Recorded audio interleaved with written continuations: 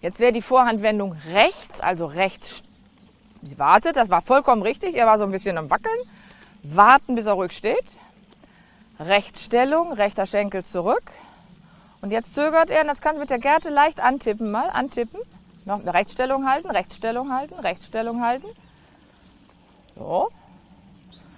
So. Und ist er hier so ein bisschen stark, ich weiß nicht, ob alle das gesehen haben, so stark, stark seitlich ausgewichen.